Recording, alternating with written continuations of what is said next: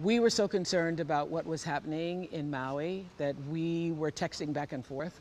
And I read this article that Dolly Parton had given money in her community. And Como vocês devem saber, artistas se juntaram para criar um fundo para a reconstrução de Maui, no Havaí.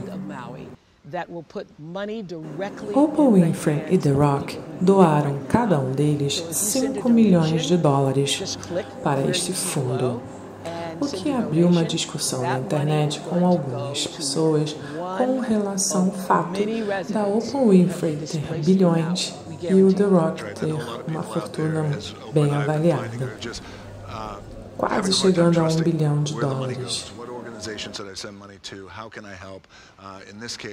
The fund that we created with a lot of hard work from a lot of hardworking people yeah. who all care about these people of, of Maui.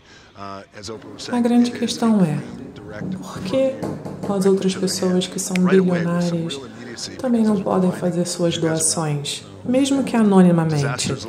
Muitas pessoas com muito dinheiro têm casas, mansões no Havaí.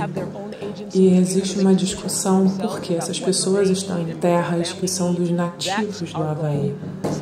Então, até hoje, tem um pouco dessa briga de pessoas que são de fora e têm mais terras do que pessoas que moram lá, nasceram lá e toda a sua família é do antigo reino do. Havaí, que foi anexado pelos Estados Unidos alguns anos atrás.